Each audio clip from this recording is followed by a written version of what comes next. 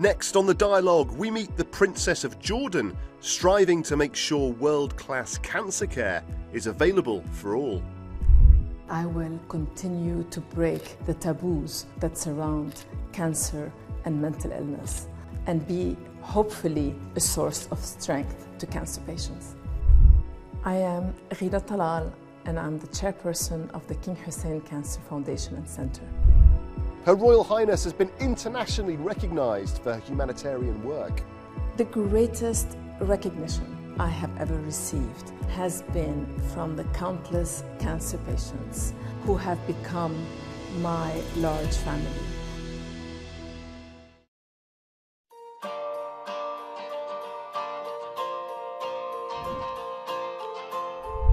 Your Royal Highness, thank you so much for joining us on the dialogue. Now, you started your career as a journalist, didn't you? What, what, what, was it that first attracted you, drew you to the, the world of news? I was born and raised in Lebanon to a political family. And as a teenager, I witnessed the outbreak of the Lebanese Civil War. And after that, I attended Georgetown University's School of Foreign Service.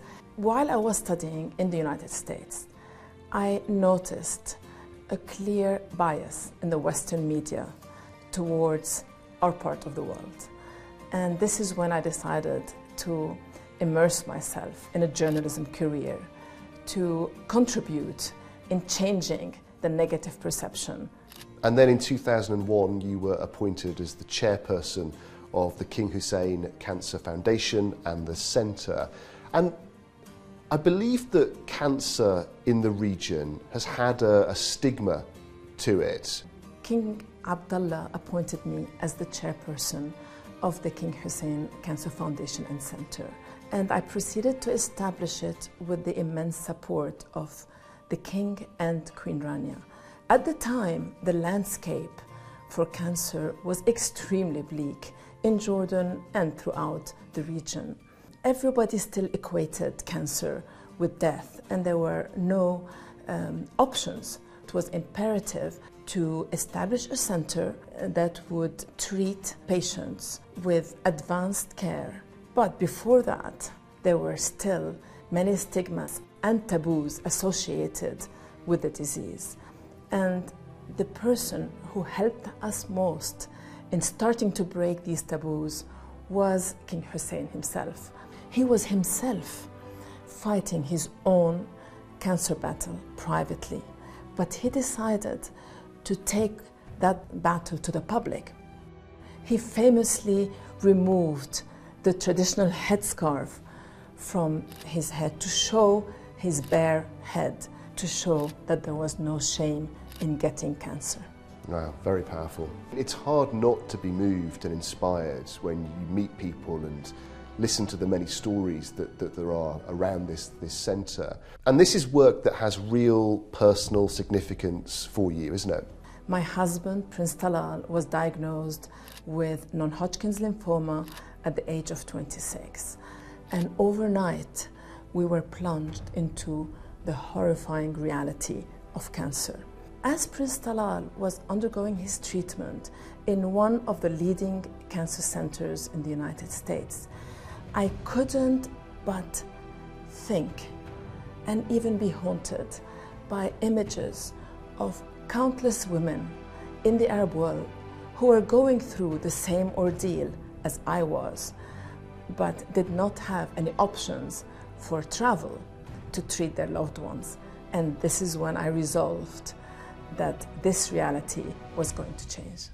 And there is optimism. We spoke off camera about some of the successes that there, there have been. Would, could you tell us about some of that success? The KHCC is a cornerstone.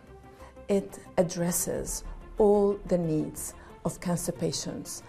It has so far treated over 75,000 patients from all over the Arab world.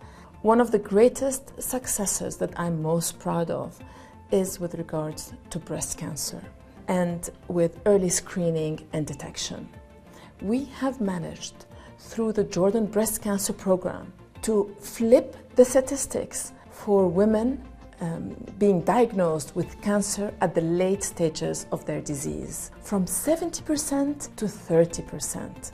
However, this is still not enough. We will not rest until not one woman has to succumb to cancer because of a late diagnosis. Amazing. Dealing with cancer is difficult enough, let alone trying to do it when you've been displaced from your home country. Working to help refugees is an important part of, of what you've been doing, isn't it? You know, Guy, Jordan is a country surrounded by countries in conflict. And where there is conflict, there are refugees. And Jordan has been host to over a million refugees and displaced people. They literally fall within the cracks. And this is when the King Hussein Cancer Foundation took a humanitarian step and set up goodwill funds to treat the underprivileged, the refugees, and the displaced people. And so far, the, uh, our goodwill funds have treated 3,500 refugees.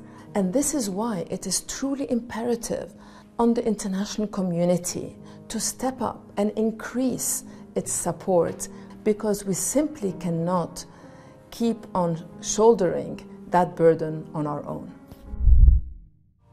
So, this is our playroom for young patients. Your Highness, we've got this amazing kids' playroom here at the centre, but you've also got the healing garden too, both spaces that I guess allow people to be themselves, to, uh, to escape a little bit. And mental health is a really important part of this holistic healing process, isn't it?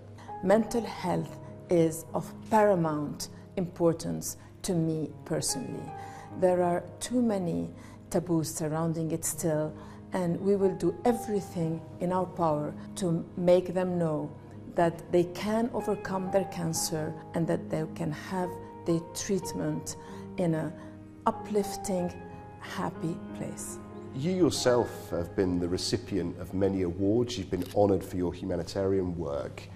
Is there anything you still feel that you're yet to achieve? It is always an honor to receive an award for one's work. I have to tell you that the greatest honor and award for me is to have had the opportunity to be by the side of cancer patients and their families, and hopefully always be a source of strength to cancer patients and their families a source of strength to patients throughout the Arab world and beyond. Your Highness, thank you so much for joining us on the dialogue. Thank you. Thank you.